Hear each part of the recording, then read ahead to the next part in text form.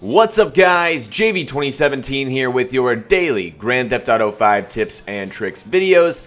Today we're looking at how to get free car mods for life in Grand Theft Auto 5. This process involves buying a property. Now if you have no clue how to buy a property in Grand Theft Auto 5, you're in good luck because I made a video just the other day on how to do that. So click on the screen right now. It shows you how to buy properties, how the whole system works, how to collect your income, all that fun stuff. Click on the screen right now. I highly suggest you guys check it out before you start this video.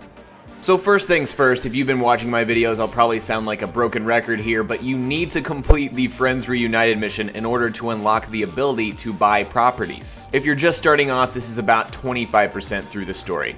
And once you've done that, you can head up to Los Santos Customs way up in Blaine County in Grand Sonora Desert. I was actually shocked at how out of the way this is, especially for Franklin. Also, keep in mind, only Franklin can purchase Los Santos Customs and get these free car mods. Which makes total sense since he's got that special driving ability that slows down time. And when you arrive at the Los Santos Customs in Blaine County, you will see that familiar Dynasty 8 sign. Go ahead and purchase the property. It will knock you down $349,000, but give you a weekly income of $1,600. Since there has been some confusion on my previous videos concerning properties and earning a profit, it does take four years of in-game time in order to earn a profit on this particular property. It's a long-term investment, but you do end up making money in the end. You put down that $349,000 initially, you earn 1,600 a week that's automatically deposited into your account, and it does take 218 weeks of earning that weekly income in order to turn a profit on this property. Now, I actually think this is one of the smartest properties you can buy because of the free car mods. I mean, you're saving a ton of money by buying this property and you're still earning that weekly income. Like I said, it's going to take four years for you to see a profit by just earning weekly income, but technically you're saving a lot of money if you do a lot of car mods, which is one of the most fun things to do in this game. Especially when you've beaten the game and you have nothing else to do. Just get a bunch of cars, mod the crap out of them, store them in your garage, race them in some of the races. There's a ton of stuff to do with the cars in this game.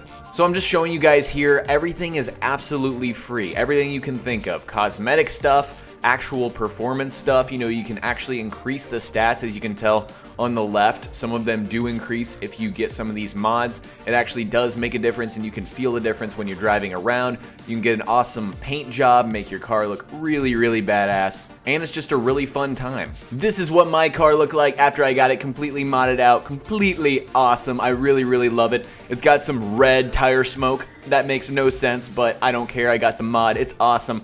I got it resprayed to chrome, so the whole thing is chrome. It looks dark because it's nighttime here, but it's chromed out, and it's really freaking awesome. Just out of mere curiosity, I wanted to test a few things just to make sure I knew everything about modding and getting free mods. So I went to this other Los Santos Customs in Los Santos downtown kind of area and it does cost money. So you only get the free mods at that one location that I showed you guys. Kind of unfortunate, but you know, if you screw up your car on the way there, you get a free repair and you get all those free mods as well. And the other thing I was curious about was modding the default car. Of course, you know, it would make sense for the mods to stay there, and they do. So here you go, you can tell that I modded that car, I came back, and it respawned right there perfectly fine and kept all the mods that I got for free at that Los Santos Customs in Blaine County.